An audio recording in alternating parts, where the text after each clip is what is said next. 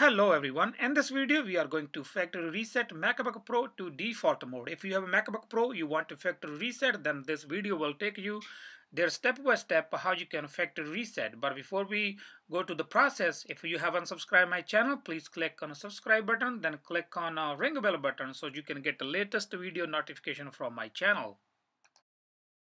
So now let's start with the factory reset. First it can be many many reasons. You want to sell your macbook or this your macbook not working the way you want? So you want to reset. So first step you want to do if you have a your information your data you want to save it you would like to backup you can do either way. You can backup your uh, iCloud account or you can have an external uh, storage device USB drive hard drive according to your data size. And then you simply plug into your MacBook and you can copy paste or you can just drop it in like whatever you want to save it. Once you're done, you back up your data, you just eject your hard drive or USB drive, then you go to system preference.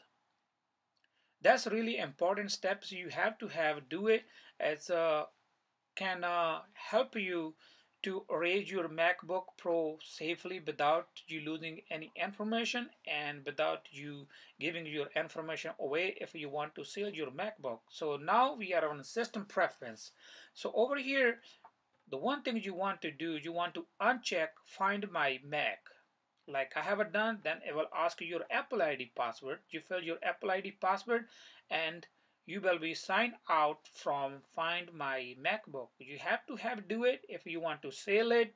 Even it's better if you want to keep it because it's not going to bother you when you try to uh, back login just in case you mess up your password or something. You can log in anytime you come back. Now we done with find my mac. The next step we're going to do we are going to open iTunes so once you open iTunes and iTunes, we have to deauthorize our MacBook device from iTunes account. Some people they authorize already, some people not, but if you have a use iTunes on your MacBook, then probably you have already authorized iTunes to your device, then that's the also most important part you need to deauthorize from iTunes. From iTunes, all the way on the top menu, you will see account. From the account, when you click, you will see authorization. Then it says deauthorize this computer. You have to click on deauthorize this computer. It will ask you your uh, same thing, Apple ID, uh, email, and password. You have to put your information in. Once you're done, then you click on uh, next or okay, whatever the option it will take you.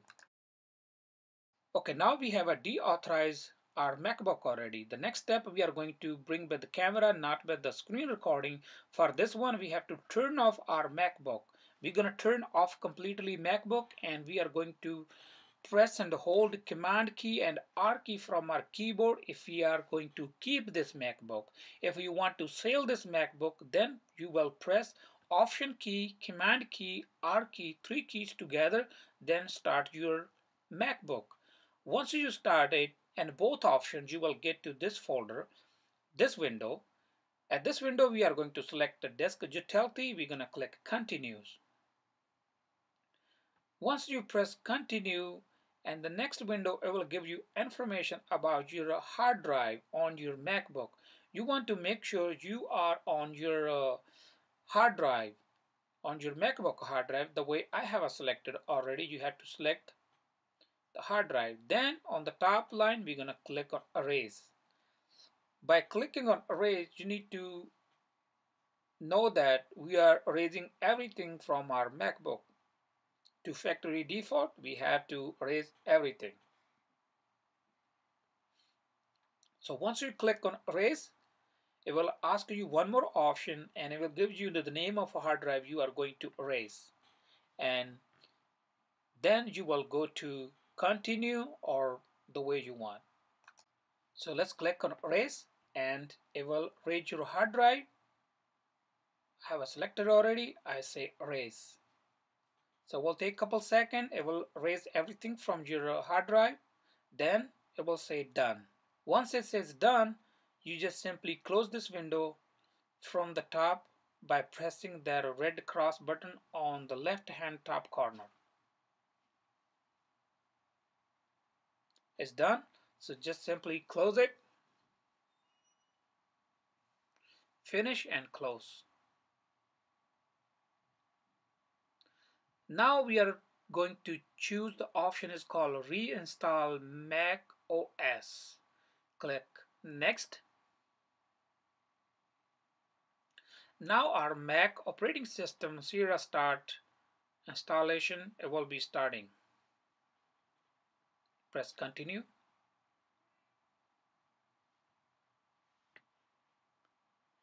As we know there are going to be a couple things. We have to click yes agree we have to agree with a couple stuff like the way we are installing operating systems. You have to follow all the options according to your need and we are going to install our macbook operating system I'm also staying with the camera so I can record everything. What are the common things it's asking over here asking about the the country or whatever your country region you're gonna select.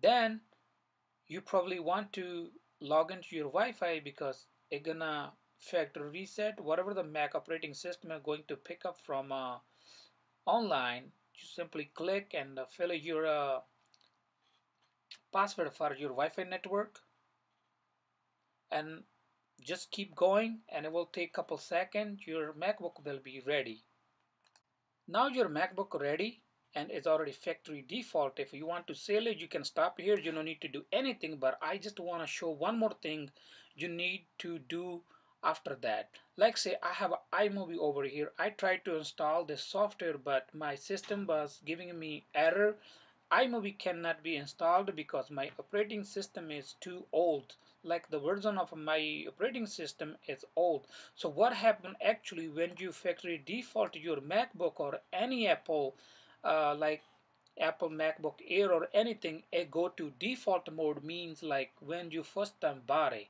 so what we have to do we have to go to our like uh, Apple this MacBook and you can check your operating system uh, what kind of operating system you have it what version is it so what we have to do then to make the new apps installation and everything we have to upgrade our macbook operating system. You can go to apple store. You can find new macbook operating system like upgraded one and you can upgrade that one. So now our macbook is ready to use that's all for today. Thank you for watching. If you like my video please like share comment and don't forget to subscribe. Thank you for watching